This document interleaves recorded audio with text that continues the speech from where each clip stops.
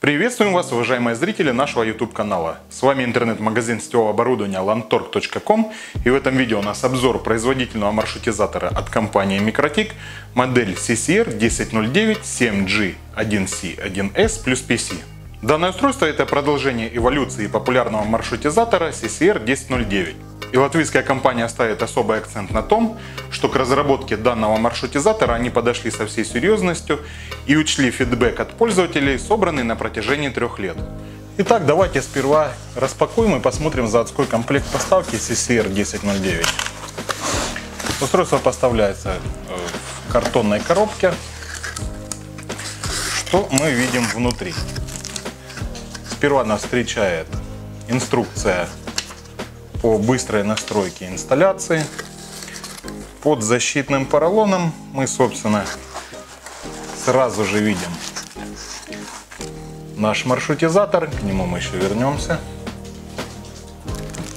Далее в комплекте у нас имеется набор уголков для крепления в стойке. Также тут есть винтики. И есть силиконовые ножки для того, чтобы использовать настольное исполнение. Также производитель в комплект добавил OTG кабель для USB. Блок питания постоянного тока, а также кабель питания к нему. И длинный уголок, так как маршрутизатор стал меньше размером, и для того, чтобы стать в стойку в один юнит, пришлось уголок сделать более большего размера. Основные нововведения в CCR 1009 7G 1C 1S плюс PC заключаются в том, что теперь у нас все сетевые интерфейсы напрямую подключены к центральному процессору и устройство лишилось промежуточного свит-чипа. Также у нас появился комбо-порт, ну к нему мы еще вернемся. Также изменения коснулись и системы охлаждения. Теперь она пассивная, то есть маршрутизатор не издает шума. Также с передней грани производитель убрал жидкокристаллический экран и поместил его наверх.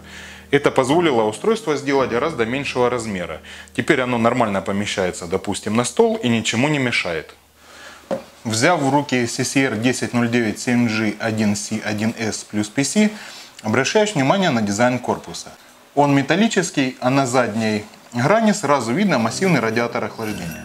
Его установка позволила не устанавливать активное охлаждение, а выделяемое процессором тепло с помощью тепловых трубок и радиатор рассеивается в окружающую среду.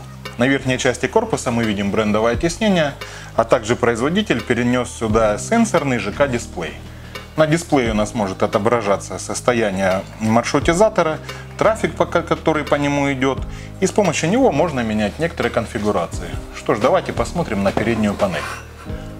На передней панели, ну давайте пойдем, наверное, по порядку. Первое, что мы видим, это слот для 10 гигабитных SFP плюс модулей. Далее за SFP плюс портом находится э, так называемый комбо-порт. Это что означает? Означает это то, что на 1 гигабитный сетевой интерфейс приходится два физических порта. Один для модулей SFP, то есть для подключения оптических сетей, а второй стандартный RJ45 гигабитный Ethernet. Одновременно использоваться может только один из них.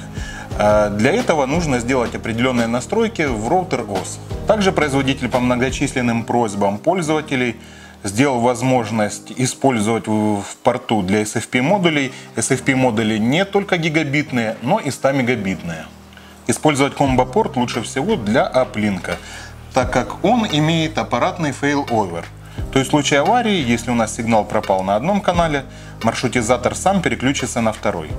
И также между ними находятся световые индикаторы состояния. Далее мы видим 7 гигабитных Ethernet портов. Все они напрямую подключены к центральному процессору. Интерес вызывает у нас последний седьмой порт, э, по которому устройство может получать питание по витой паре по технологии Passive PoE. Таким образом, мы можем резервировать это самое питание. За Ethernet портами у нас находится маленькая кнопочка Reset, консольный порт RS232 и под ним разъем для смарт-карт. Далее у нас находится два светоиндикатора состояния, а также USB-порт. На этом на передней панели у нас все. Что на задней? Ну, на задней, кроме самого массивного радиатора охлаждения, мы можем видеть, во-первых, разъем для подключения блока питания постоянного тока, а также слот для микро SD карт. И в уголке, в правом нижнем уголке мы видим барашек для подключения заземления. CCR 1009 7G 1C 1S плюс PC – следующее поколение популярного маршрутизатора, на изменения в котором в большей степени повлияли сами пользователи. А с вами был интернет-магазин сетевого оборудования lantorg.com. Подписывайтесь на канал и до встречи в других видео.